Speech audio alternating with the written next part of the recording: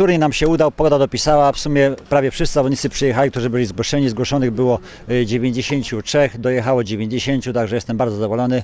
Tam niektóre kontuzje wyeliminowały y, z przyjazdu, y, a tak to w sumie wszyscy się fajnie bawili. Sam fakt, że dotarł Pan do finału, to chyba duża satysfakcja. Tak, oczywiście finał to jest finał. Tutaj w finale to już warunki zewnętrzne, stres, napięcie, no i przeciwnik, e, z którym toczę boje już od wielu lat. No i zawsze no, częściej jest, częściej wygrywa, więc ta presja gdzieś tkwi w głowie i trudno się przełamać. No dzisiaj warunki są zdecydowanie ciężkie, mokre korty, szybko robi się piłka ciężka. Trochę za późno dobrałem rakietę, ale no Adaś jest, jest bardzo dobry, więc przegrać z nim, kolokwialnie mówiąc, to nie grzech. Te kilkudniowe zmagania tutaj na kortach w Zabrzu w jakiej atmosferze upłynęły? No super, miejsce jest fantastyczne. Mam okazję być tu pierwszy raz, więc jestem zachwycony. E, obiekt, sam obiekt jest fajny, bo jest wszystko w jednym miejscu. Zaplecze, no, organizacja, klub spisał się moim zdaniem na medal. Ja w singlu przegrałem w drugiej rundzie. Jeżeli chodzi o debla, to przegrałem półfinałowej walce o finał. I to takie moje osiągnięcie chyba największe w tym turnieju, bo tak przeważnie wcześniej kończyłem.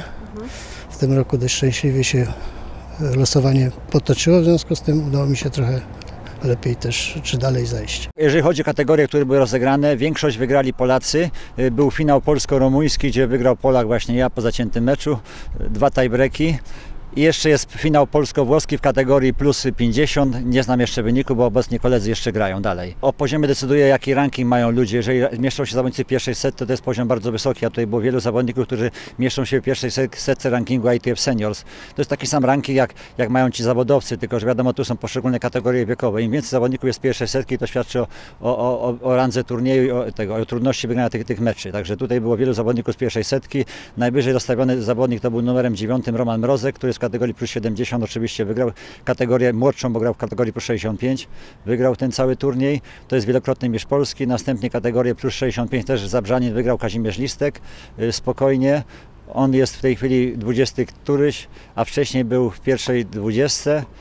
Jeszcze, no ale finały też były chłopaków, którzy mieli tam byli miejsca 60 i, i 40 i grali ze sobą finały, także bardzo wysoki poziom turnieju. Udało mi się dzisiaj wygrać ten turniej. No i co, kolejna satysfakcja? Czuje się takie zadowolenie? To jest takie e, przedłużenie kariery zawodniczej. Proszę coś powiedzieć na temat rywali. No, dzisiaj e, kolega Dobrosz był w formie. Zagrażał w pierwszym secie, ale potem jakoś się ułożyło po mojej stronie.